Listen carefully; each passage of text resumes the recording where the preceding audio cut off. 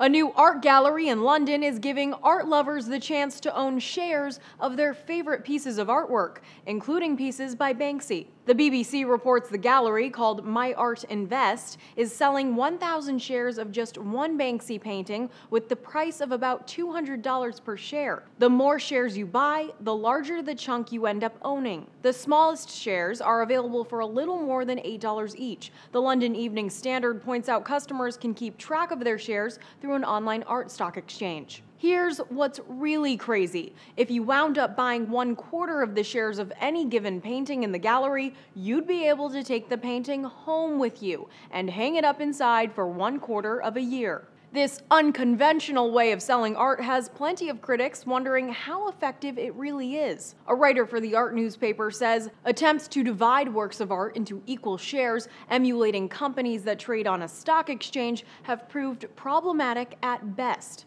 But the paper points out the business model from the gallery's founder worked well in France, with more than 200 paintings sold. According to Forbes, it's also unclear what would happen to the business if there were shares that were left unpurchased.